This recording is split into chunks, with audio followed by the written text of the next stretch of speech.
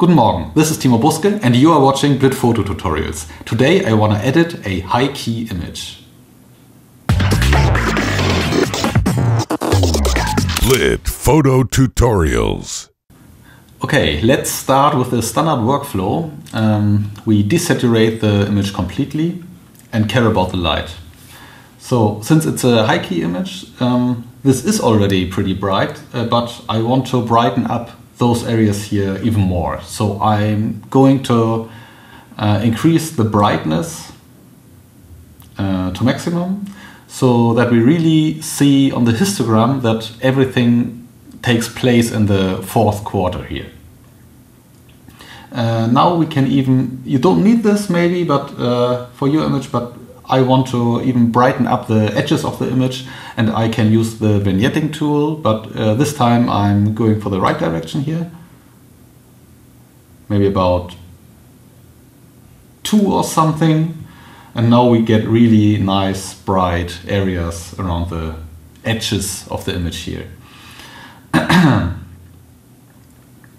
um, now I can maybe do some level tweaking uh, to bring back the blacks here, the dark areas.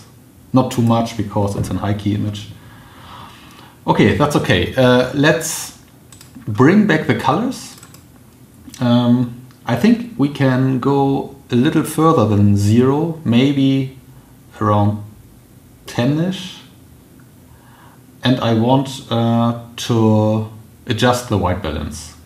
So let's go for slightly colder colors here.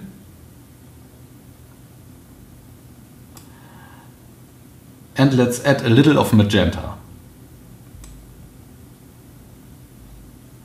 So we really established uh, the pink color in this image. Just establish one or two colors and I think this is, this is enough for most of, of the pictures.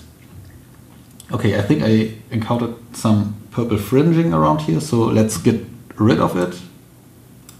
That's much better. okay, let's compare before after. Before. After, pretty nice high key image. So I hope you liked the video and thanks for watching.